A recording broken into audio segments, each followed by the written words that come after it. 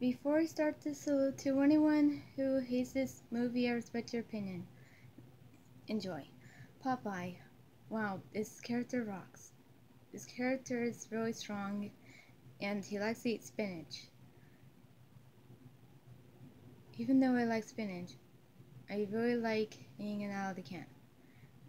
And yeah, Popeye rocks and Olive Oyl really pretty and cooling Swee'Pea's really cute. And Bluto, well, nobody cares about Bluto.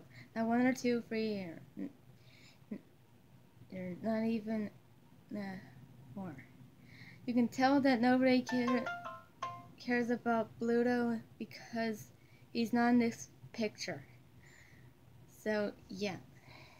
And all the characters rock except for Bluto because nobody cares about Bluto because he's not in this picture. Anyways, do you know who likes this movie? Everybody in the entire world.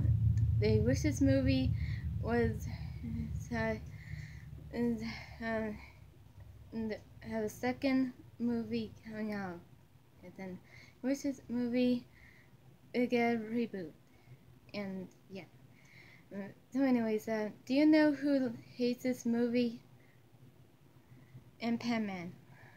He wishes that this movie get canceled for good. What? And Man should be grounded for what he did. So anyways, Popeye rocks.